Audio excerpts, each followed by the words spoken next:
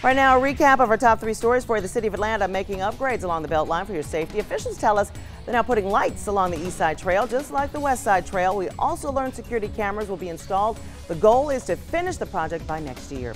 Caught in the act, look at this. A man taking about 200 bucks in cash from a cash register. This is at the Buddy Beauty Mart in Peachtree Corners. Police say he ran off right into a stolen car they believe was recently jacked in Chamblee.